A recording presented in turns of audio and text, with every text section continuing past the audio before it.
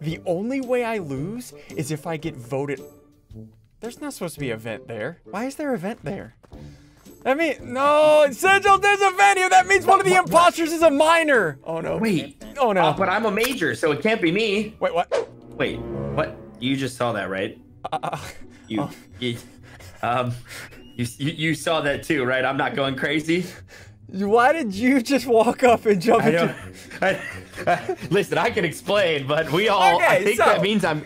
There's you're clear, right? There's a miner which can create vents everywhere, and there's a camel. No, a morphling which can take shapes of other people.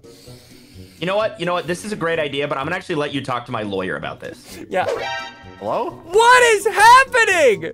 Biffle! What's how did you get here?